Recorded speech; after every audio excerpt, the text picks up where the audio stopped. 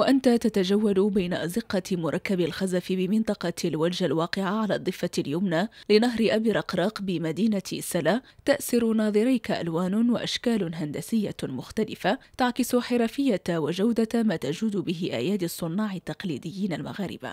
وفي ظل ظروف الجائحة لا تزال هذه الحرفة المتجذرة هنا داخل هذه القرية ذائعة الصيت تقاوم من أجل البقاء. هو بقاء في أمس الحاجة اليوم إلى تجديد وتحديث ودعم من أجل البحث عن قنوات جديدة لتسويقها حتى تتمكن من الاستمرارية الأزمة ديال كورونا قلت لك إحنا ديك ثلاث شهور ما خدمناش حبسنا.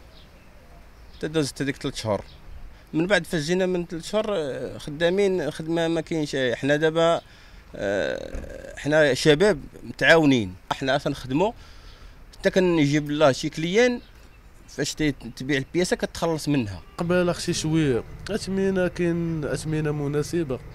واش الكليان كاين شي شوية؟ المهم كاينة الحركة شوية ماشي بحال ديك العام اللي فات في كورونا في كوفيد شهر ثلاثة وأربعة وخمسة كانت كاع المحل ولم تكن وضعية صناعة الفخار بسلا على هذه الحال بل كانت تجارة مزدهرة حيث كان الفخار السلاوي يباع على نطاق واسع في جميع أنحاء المملكة ويصدر إلى الخارج أيضا نظرا لما يتميز به من تاريخ عريق يعود إلى أزيد من سبعة قرون وأيضا لأصالته وتجذره في التاريخ الفني والحضاري المغربي حيث يجد الزائر في الولجة تحفا متنوعة تبرز أصالة الخزف المغربي وقدمه وتنوع أشكاله وزخارفه الناس راه ضايعين والله العظيم. كاين ما ما كيدخل حتى شي حاجة في المتر وأصلا وعاد السوق يعني مقتولة بمعنى الكلمة تاع الناس ما كتجيش تشري ولا ما نعرف شنو كاين. أنا شي حاجة الا كاين شي استفاده شي يعني شي التفاتة يلتفتوا شوية لهاد الناس هادو تا هما ربي اللي عالم بهم. هادشي ديال الصناعة التقليدية زعما محتاجين ليه بزاف و... وما كيموتش شي حاجة اللي ما كتموتش واخا آه، عشنا من صغرنا وحنا فيها وكبرنا وحنا مازال فيها و... واخا كتمشي لأي حاجة ماشي هذا كت...